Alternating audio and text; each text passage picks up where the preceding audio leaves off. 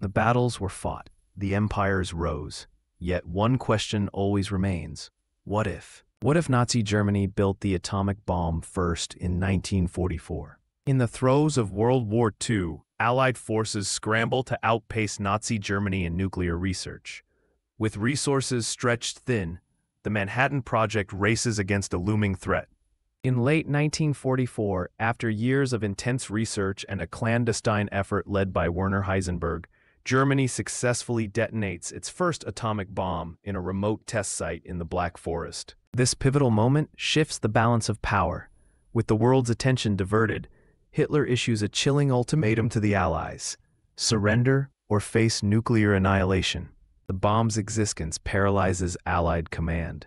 With cities like London and New York within reach of German bombers, negotiations replace battlefield advances as a desperate strategy emerges. In response, the Soviets accelerate their own nuclear program, forming secret alliances with scientists from occupied territories. The race intensifies as both sides scramble to avoid being the first to use the bomb.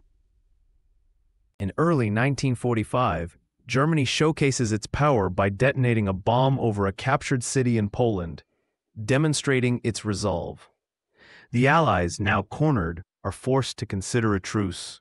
The war concludes with a negotiated peace in mid-1945, leaving Germany as the dominant power in Europe, reshaping global politics and causing a rift among former allies.